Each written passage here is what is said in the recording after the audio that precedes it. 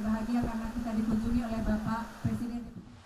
Dalam tiga tahun ini telah dikucurkan dana desa ke daerah-daerah, ke desa-desa sebesar 127 triliun. Yang pertama 20 triliun, yang kedua 40 triliun, yang ke tahun ketiga 60 triliun. Totalnya sekali lagi itu angka yang besar sekali, 127 triliun itu angka yang besar sekali. Saya titip, di negara Indonesia ini kita memiliki 74 ribu desa. Tahun ini, sampai tahun ini ada kurang lebih 900 desa yang mempunyai masalah. Hati-hati, kepala desanya ditangkap saya enggak nakut-nakuti. Karena menyelewengkan dana desa. Saya titip hati-hati menggunakan dana ini. Ini adalah dana yang sangat besar sekali, 120, 127 triliun. Itu bukan angka yang kecil, angka yang gede sekali. Dan kita berharap uang ini terus berputar di desa-desa, jangan kembali ke kota. Ini terdengar enggak ya? Sama hujan kelihatannya keras hujannya ya. Tapi hujan ini barokah. Ini kan mau nanam jagung, jadi kalau hujan dulu ya memang ini barokah dari Allah yang diberikan kepada kita. Kembali lagi, jadi setiap desa ini pada tahun pertama dapat berapa Pak Menteri?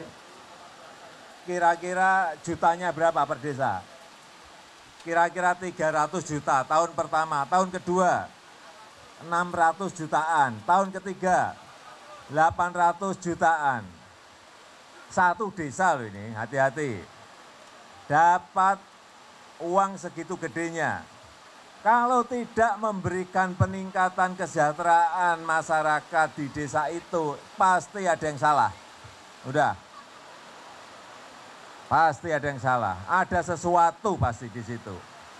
Oleh sebab itu saya minta tidak hanya aparat, tetapi yang paling penting masyarakat harus semuanya ikut mengawasi agar dana desa ini betul-betul memiliki manfaat, mempunyai manfaat bagi masyarakat yang ada di desa-desa. Silahkan dipakai untuk membangun infrastruktur, silahkan. Jalan desa, silahkan. Dipakai untuk embung, silahkan. Dipakai untuk irigasi yang kecil-kecil, silahkan. Dipakai untuk membendung sungai kecil, silahkan. Yang paling penting, yang tidak boleh hanya satu, jangan ada yang ngantongin untuk kepentingan pribadi. Ini yang tidak boleh. Usahakan agar dana itu hanya muter saja di desa. Paling besar muter di kecamatan.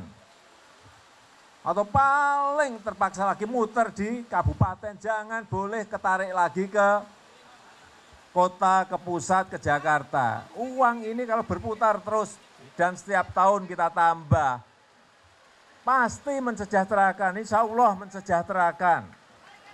Kalau hal-hal seperti ini terus kita lakukan, saya meyakini dengan potensi besar yang dimiliki oleh Banten, kekuatan yang dimiliki oleh Banten, didukung oleh infrastruktur yang baik, insya Allah provinsi ini akan berkembang dengan baik.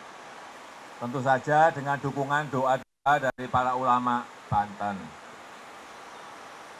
Saya kira itu yang bisa saya sampaikan pada kesempatan yang baik ini dan saya terus ingin mendorong agar kerjasama BUMN, kerjasama swasta, kerjasama pemerintah provinsi, pusat dan kabupaten ini terus kita lakukan sehingga apa yang kita inginkan sebuah desa yang sejahtera, sebuah desa yang makmur itu betul-betul akan bisa kita sampai dalam waktu yang tidak terlalu lama.